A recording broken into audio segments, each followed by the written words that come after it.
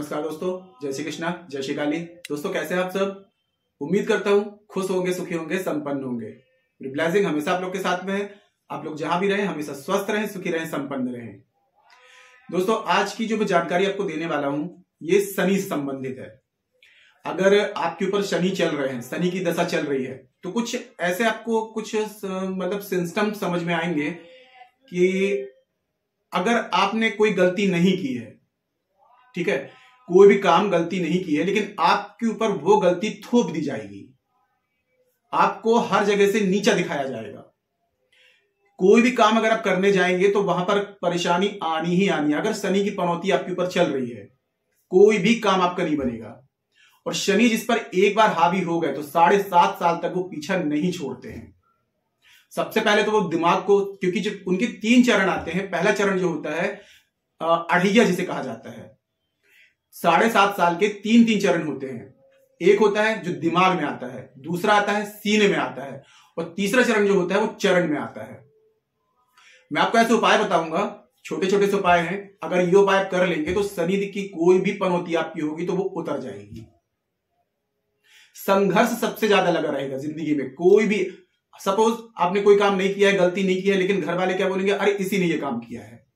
इसी की गलती है। घर में लड़ाई, झगड़े कलेश, सब कुछ लगा रहेगा। भागा दौड़ी लगी रहेगी। कोई काम चाहते हैं कि ये काम करने जा रहे हैं तो वहाँ बनने से पहले वो काम बिगड़ जाएगा। तो शनि की अगर दशा आपके ऊपर चल रही है तो एक छोटे से प्रयोग, दोस्तों, काफ़ी टाइम में ऐसा होता है कि लोगों को पता नहीं चलता है कि हमारे ऊपर कौन से ग्रह की दशा चल रही है। तो शनि देव को सबसे ज़्यादा शांत करने के लिए जो है, वो है सबसे सबसे पहले आप पकड़ लीजिए हनुमान जी को, दूसरा पीपल देव को, और तीसरा शंकर भगवान को। इनकी पूजा करना आप शुरू कर देंगे, शनि अपने आप शांत हो जाएँगे। कभी कभी यह भी होता है कि राहु की दशा होती है, राहु जो होता है भ्रमित करता है। तो यदि शंकर भगवान की पूजा आप कर रहे हैं तो आपको सिर्फ़ दो लाभ होंगे। एक तो राहु आपका शांत रहेगा दूसरा शनि आपके शांत रहेंगे। तो शनि को शांत करने के लिए मैं कुछ उपाय आपको बता रहा हूँ। छोटे से उपाय हैं। आप शनि के बार के दिन में क्या करें, महिलाएँ जो हैं और पुरुष जो हैं, काले कपड़े पहनना शुरू कर दीजिए। शनिवार के दिन में हमेशा काले कपड़े धारण करिए। साथ में आप क्या करें? काली चीज़ें घर में आपको ज़रूर बनानी है। जैसे आप चावल पका रहे हैं तो गिन करके शनि का जो अंक होता है, वो होता है आठ का। तो हर शनिवार के दिन में आठ उड़द के दाने और साथ में आठ काली तिल। इनको गिन करके कि आठ की मात्रा में ही होनी चाहिए, ठीक है? आठ उड़द के दाने साबुत ले लें और आठ काली तिल के दाने। ये लेकर के और चावल जब पका रहे हैं आप तो इसमें डाल दीजिए। सभी लोग खाएँगे। इससे इस घर के सभी सदस्यों के ऊपर, जिसके ऊपर भी शनि की दशा है, वो शांत होना शुरू हो जाएगी। शनिवार के दिन में काली सब्जियों का प्रयोग करें, जैसे कि काला बैंगन हो गया, काले फल देख लें। इन चीज़ों का जितना यूज़ करेंगे, उतना ज़्यादा आपके शनि शांत रहेंगे। और हमेशा शनिवार के दिन में पीपल देव की पूजा ज़रूर करें। शनिवार के दिन में कहा जाता है दोस्तों कि माता लक्ष्मी का पीपल देव के नीचे वास होता है। तो आप लोग एक काम करें, उड़द की जो दाल होती है, उड़द की दाल को फुला दें। इसको पीस करके इसका एक दिया बना लें। अब सरसों के तेल का या काले तिल का आप वो करें दिया बनाएँ और काले तिल का तेल लें और आठ बाती का, लेटी हुई बाती, आठ बाती क्योंकि शनि का जो अंक होता है, आठ का होता है। तो इसको गौधुली वेला में, यानी कि संध्या के समय, पीपल वृक्ष में हर शनिवार का नियम बना लीजिए कि आठ बाती का मतलब कि आठ, एक बाती बनाएँगे आप, उसके दो मुख हो जाएँगे। एक और बनाएँगे, इसके चार मुख हो जाएँगे। तो चार बाती बना ले, आठ मुख कर ले। और आठों उसका जो दिया जला करके पीपल वृक्ष में अर्पित कर दे, जला दे। और शनिदेव का एक मंत्र है, ओम सम शनिश्चराय नमः। इस मंत्र का आठ बार जाप कर ले। या फिर वैदिक मंत्र है, ओम प्राम प्रीम प्रोम सह शनिश्चराय नमः। इस मंत्र का आठ बार जाप कर लें। या फिर एक विशेष मंत्र है जो उनकी स्तुति की जाती है, ओम नीलांजन समाभाषम, रविपुत्रम यमाग्रजम छाया मातंड संभूतम तम नमामि शनिश्चरम अगर इसका आठ बार जाप कर लें तो और भी अच्छा रिज़ल्ट मिलेगा। साथ में आठ परिक्रमा पीपल देव की कर लें।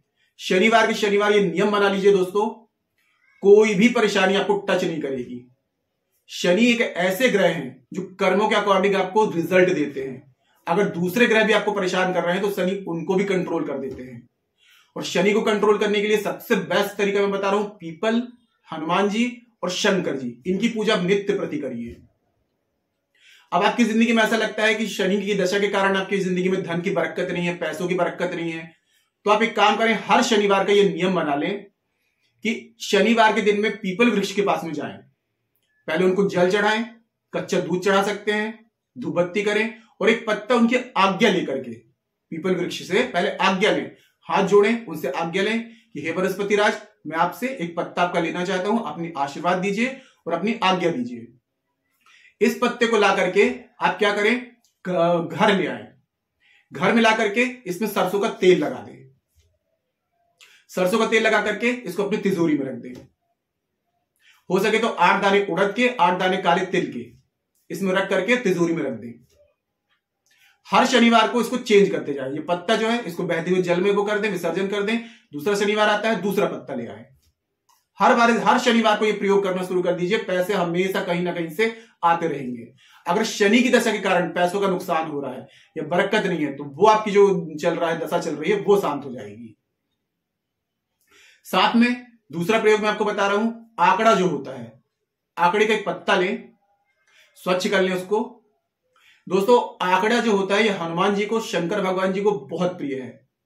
तो आंकड़े का एक पत्ता लें, उसको घर ले आए, शनिवार के दिन इस प्रयोग को करेंगे।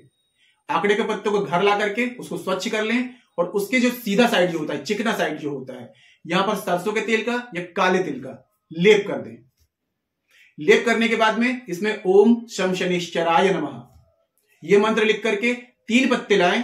एक पत्ता शंकर जी को अर्पित करें, एक पत्ता शनिदेव को अर्पित करें और एक पीपल वृक्ष में अर्पित करें।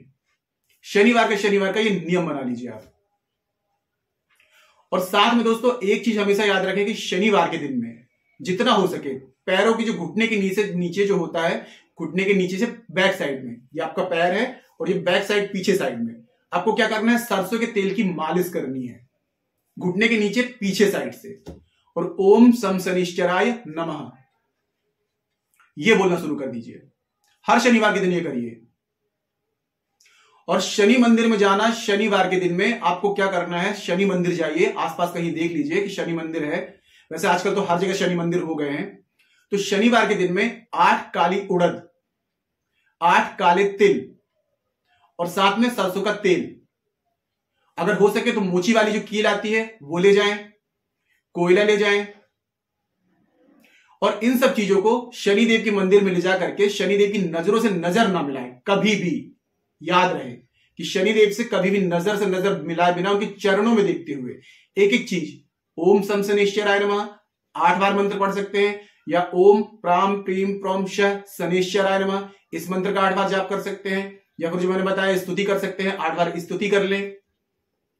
और आठ परिक्रमा ले लें। और कभी भी दोस्तों शनिदेव को जब आप कुछ चीज़ चढ़ाते हैं तो कभी भी उनको पीठ दिखा करके कभी ना निकले। कई लोगों को मैंने देखा है कि सीधे चढ़ाते हैं और पीठ दिखा करके वापस हो जाते हैं। तो कभी भी शनिदेव को पीठ ना दिखाएँ।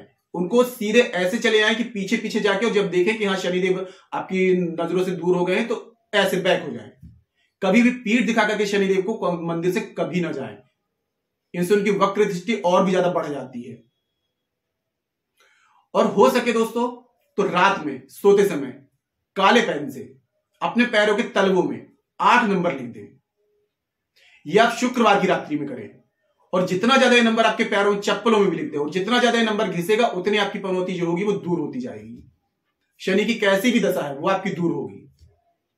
क्योंकि जब शनि की दशा चलती है दोस्तों तो बहुत संघर्ष होते हैं ज़िंदगी में। जो काम नहीं भी किया है तो उसका दोष भी आपके ऊपर लग जाता है। लेकिन मैं ये नहीं बोल रहा हूँ कि शनि बिना वजह सजा, सजा देते हैं। ये हमारे कर्माज होते हैं। कर्माज के अनुसार ही हमें सजा मिलती है। शनिदेव जो है, न्याय के देवता माने गए हैं। तो उनसे सच्ची श्रद्धा से, सच्चे विश्वास से उनकी पूजा करना शुरू करिए। और शनिवार के दिन में जितना हो सके काली चीज़ों का यूज़ करिए। काले कपड़े पहन सकते हैं तो सबसे बेस्ट है। अगर काला कपड़ा नहीं पहन पा रहे हैं तो काला कपड़ा सिर में डाल करके और जो मैंने मंत्र बताए हैं इस मंत्र का एक सौ आठ बार जाप करें, शनिदेव का। और हनुमान जी को सरसों के तेल का दिया ज़रूर जलाएँ। ये छोटे छोटे से प्रयोग दोस्तों आपकी ज़िंदगी में सारी परेशानियों को दूर कर सकते हैं। करके देखिए दोस्तों, अगर परेशानी बहुत ज़्यादा लगी है, शनि की पनौती लगी हुई है तो शनि की पनौती दूर होगी। और शनिवार के दिन में दोस्तों अगर दान करते हैं आप, शनि का दान करते हैं तो ये बहुत ज़्यादा अच्छा रिज़ल्ट देता है। गरीबों की सेवा करना। शनिदेव जो अगर मैंने जो ये उपाय बताए हैं, इन सबको छोड़ करके, यदि आप गरीबों में दान करना शुरू कर दें, ज़्यादातर उन लोगों को करें, जो लंगड़े हैं, लूले हैं ऐसे लोगों को यदि आप दान करते हैं तो शनिदेव गरीबों की सेवा करने में सबसे ज़्यादा खुश होते हैं। अभी ठंड का मौसम चल रहा है तो यदि आप कंबल दान कर दें गरीबों को, यथाशक्ति कर दें, छोटा कंबल दान कर दें तो आपकी कोई भी परेशानी होगी दोस्तों, शनि से रिलेटेड वो दूर हो जाएगी। और जब भी शनिवार पड़े तो यथाशक्ति ग्यारह रुपए, इक्कीस रुपए, इक्यावन रुपए, एक सौ रुपए, या फिर खाने पीने की चीज़ें, ये गरीबों में दान करें। उड़द की दाल के बने हुए अगर आप कोई चीज़ें दान करते हैं तो बहुत अच्छा रिज़ल्ट मिलता है। और दोस्तों एक खास उपाय मैं आपको बता रहा हूँ कि जो लोग कोई बहुत बड़ी बीमारी से यदि ग्रसित हैं, काफ़ी समय से लंबी बीमारी चल रही है तो इसके लिए बहुत ही विशेष प्रयोग आपको बता रहा हूँ। आप लोग शनिवार के दिन में क्या करें, बेसन, चने की दाल की जो बेसन बनता है, इसकी एक आपको क्या करनी है बड़ी सी रोटी बनानी है, ठीक है? अब रोटी रोटी जो बनाएँगे आप इसकी तो इस रोटी को आपको सरसों के तेल में आपको सेकनी है। सरसों के तेल में सेक करके शनिवार के दिन ही आपको इसमें एक गुड़ का डिगला रखना है छोटा सा और इसको काले कुत्ते को आपको सात शनिवार तक खिलाना है। कितनी भी बड़ी बीमारी होगी दोस्तों, आपको बीच में इसका दो से तीन शनिवार आप करेंगे तो इसका रिज़ल्ट देखने मिल जाएगा। काले कुत्ते को ही आपको खिलाना है। कितनी बड़ी बीमारी होगी, दवाएँ असर नहीं कर रही है, डॉक्टरों के पास पैसा दे देकर थक गए हैं तो ये प्रयोग आप कर लीजिए, आपकी बड़ी से बड़ी बीमारी दूर हो जाएगी। करके देखिए दोस्तों। तो आज के लिए इतना ही दोस्तों। अगर जानकारी पसंद आई है तो वीडियो को लाइक कीजिए, शेयर कीजिए। तो मिलते हैं दोस्तों नेक्स्ट वाली वीडियो में। तब तक के लिए जय श्री कृष्णा, जय श्री काली। आप और आपका परिवार हमेशा स्वस्थ रहे, सुखी रहे, संपन्न रहे।